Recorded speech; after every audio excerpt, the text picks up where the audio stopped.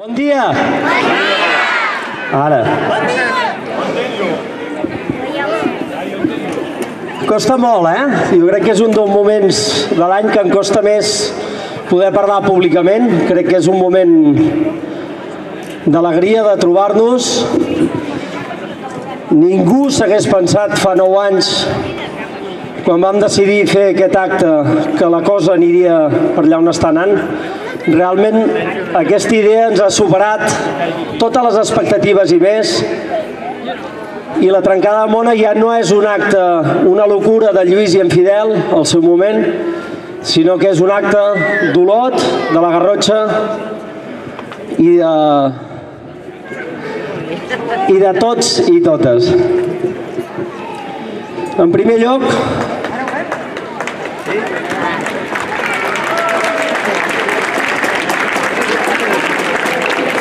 i estic emocionat, com cada any, eh? Cada any ploro, ja, ja ho sabeu. És tradició, també.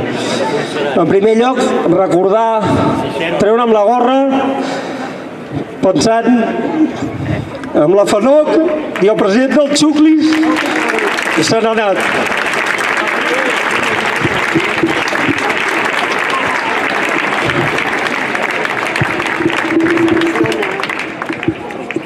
Ens ha marxat el president de, de l'Associació de Familiars d'Amics de Nens i Nenes de Tractaments Oncològics de Catalunya, però ell haurà marxat, però s'ha quedat aquí una causa, s'ha quedat aquí els nens, s'ha quedat aquí la solució i la solidaritat de famílies i d'una societat que està lluitant contra el càncer en petits i en grans.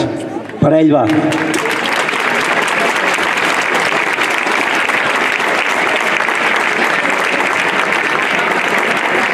En segon lloc, i en diré dues més i ja està, eh? Dos. No, perquè acostumo a ser bastant, bastant rotllista i estem aquí per la xocolata, sobretot. En segon lloc, eh, l'any passat fèiem una mona una mona que era el gegant. Jo pensava que això era insuperable. I totes les persones que esteu avui aquí m'heu demostrat que sí que era superable. L'any passat fèiem el gegant reivindicant una causa gegant, flagrant, total i absoluta, que és la necessitat que tenim de recuperar, de dignificar i de tornar a donar vida a un barri vell que és el rovell de l'ou d'aquesta ciutat, d'aquesta comarca i que sense ell no tirarem endavant. Som i serem barri vell. L'any passat a l'Alta Maduixa, aquest any a la plaça i on faci falta. Gràcies a l'Associació de Veïns i Propietaris del Nucli Antic, perquè aquesta associació i tantes altres persones estan ajudant a que no tot estigui llogable, a que no tot estigui tancat, a que no tot sigui un espagueti western de decorat. Necessitem pisos i cases amb gent, necessitem pisos i cases en comerços, necessitem un barri vell viu, digne i combatiu.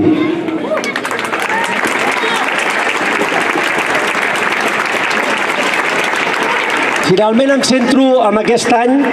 Jo no em pensava, jo no em pensava, i miro en Joan, no em pensava que el meu humil intent de ajuntar-me una vegada més amb una causa totalment justa i noble com és el dret a decidir d'un poble. Som un poble adult, tenim tot el dret del món a poder decidir i escollir un referèndum si volem o si no volem.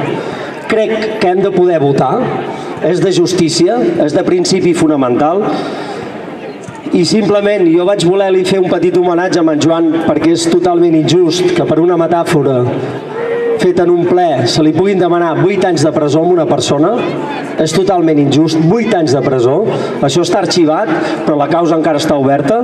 I no només és en Joan, és en Joan és l'Artur, és un, és l'altre és en Francesc, és la no ho sé, la de noms que hi ha. Quants càrrecs electes tenim en aquest país que estan encausats per això?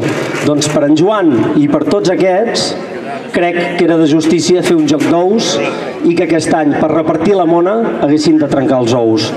Són nou anys, és una pila d'ous, és un joc d'ous, N'estem fins als ovaris, n'estem fins als ous d'aquest any, ens n'hem fet un far i ja puc dir que gràcies a vosaltres l'any que ve amb en Miquel Alari farem la mona més gran de tots els anys que hem fet. I tot ha sigut gràcies a la participació de totes vosaltres quan heu comprat ous petits, grans, mitjans. Sense vosaltres això no seria possible. Com tampoc seria possible com tampoc seria possible sense un ressò que hi ha hagut. Nosaltres hem, hem patit anys de pluja, ho recordareu. Si no m'espavilo, aquest any se'ns fondrà la mona, per tant, vaig a la idea. Hem patit pluges, hem patit trencades inesperades, hem patit eh, hem tingut moments en els quals no hi ha hagut prou difusió com ens hagués agradat però per damunt de tot hem persistit, heu persistit i entre tots i totes hem fet que aquesta festa sigui gran. Aquesta festa no, no és ni més ni menys que la vostra festa. Finalment us passo amb en Joan. Moltes gràcies. Visca la mona. I visca vosaltres.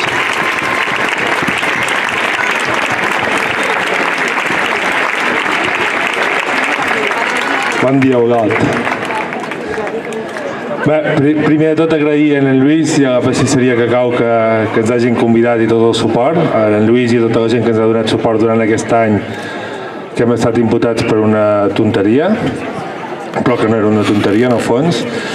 Hi ha, hi ha, hi ha un poema de, de Gabriel Celaya que diu, diu maldigo la poesia de quien no toma partido hasta mancharse. Jo crec que això és extensiu amb tots i cadascun dels dels oficis, de les professions, de les feines i la pastisseria d'en Lluís ho mostra el dia a dia i ho mostra cada any amb actes com aquest de, de cultura totalment popular, de, de fer mones per aquells que no tenen padrins i de pensar més enllà de, de, de, del petit negoci, la petita botiga, pensar més enllà d'un i de, de, del seu entorn més immediat i transcendir-lo i aquesta és una funció social imprescindible en qualsevol societat que vol decidir el seu futur.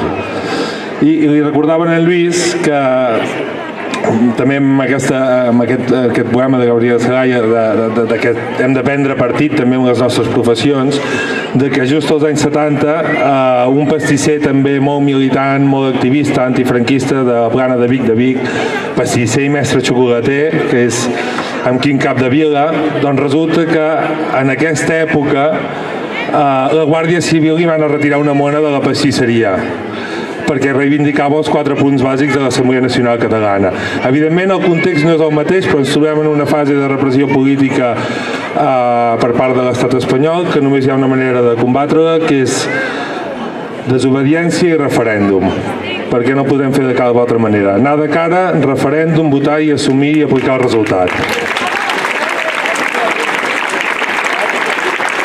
Falta com diu en Lluís, data i pregunta per concretar, per poder anar de cara i tenir clar que això en el fons va de democràcia, va de poder votar o no votar i per tant com que nosaltres volem votar i tots estem convençuts el 80% de la població ho farem i aplicarem el resultat, que no hi hagi cap dubte.